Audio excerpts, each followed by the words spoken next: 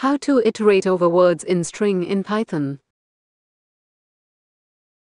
Let us take a string value in variable x. This is a sentence with some words in it. Split the string into words. Call split method on the string x and pass no argument. When no argument is passed, all the white space characters shall be considered as delimiters. Split method returns a list with the split parts which are words. We have converted the sentence into words. Use a for loop to iterate over the words.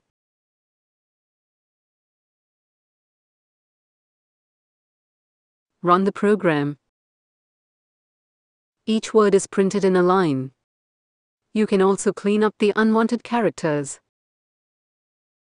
For example, the punctuation or numeric digits.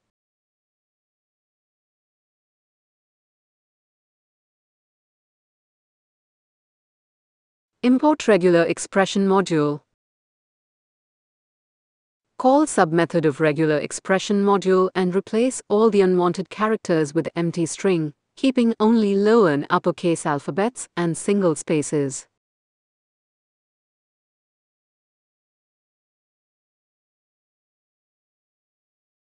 This cleans the string and the rest of the code is unchanged.